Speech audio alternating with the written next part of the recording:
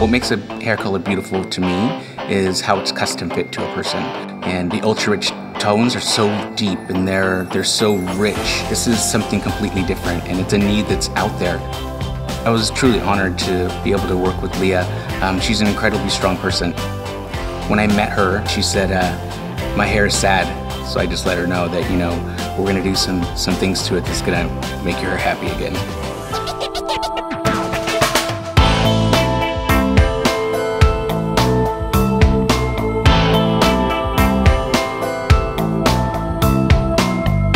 So when we were finished, she uh, she put her hands through her hair, and I just kind of stepped back and let her enjoy, you know, how her hair looked. She just completely lit up. That's what Lea loved.